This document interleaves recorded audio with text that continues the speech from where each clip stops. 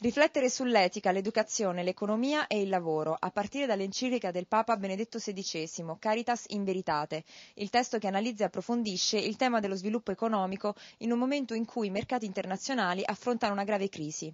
E questo è l'obiettivo del convegno organizzato nella Basilica di San Paolo dal professor Antonio Cocozza. Un'analisi della, dell'enciclica Caritas in Veritate eh, da, dai diversi punti di vista, soprattutto dal punto di vista sociale e dal punto di vista economico.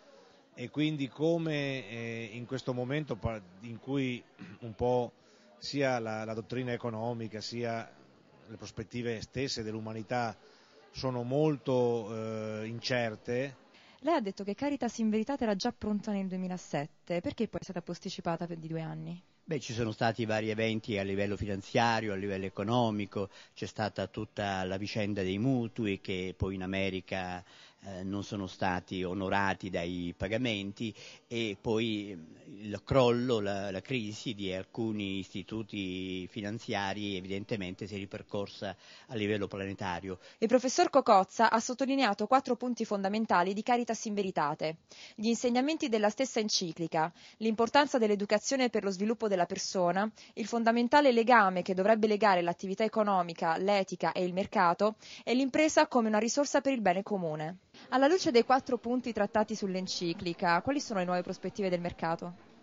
Beh, il mercato se vuole crescere ha bisogno di infondere maggiore eticità e maggiore attenzione ai clienti, ai consumatori, ai lavoratori, altrimenti il rischio è che ci sia una involuzione e quindi non è capace di concorrere effettivamente con una logica di competizione libera.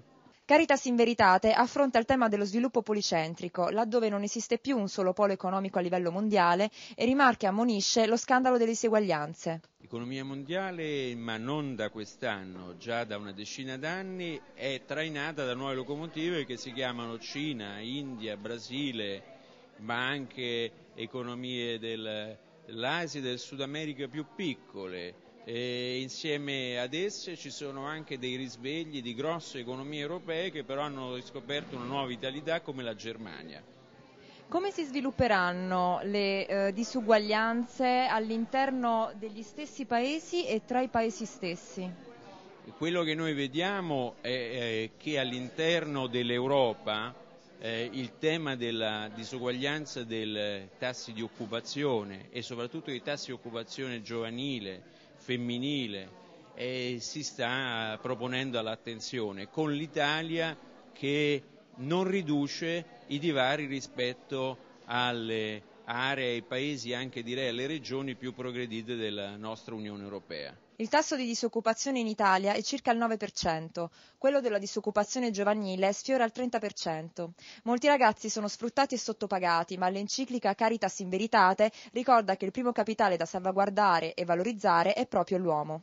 Consiglio è quello di studiare sicuramente, di impegnarsi e di fare bene il proprio ruolo e il proprio lavoro. Lei ha detto ai giovani andate avanti con fiducia, esortandoli a non mollare nonostante le gravi difficoltà lavorative che incontrano. Sì, credo che oggi sia davvero il momento in cui dobbiamo incoraggiare, ma non soltanto sul piano puramente emotivo, sentimentale, ma incoraggiare partendo dalla consapevolezza che si può creare un nuovo sviluppo, ci sono tante forze positive in atto nella società.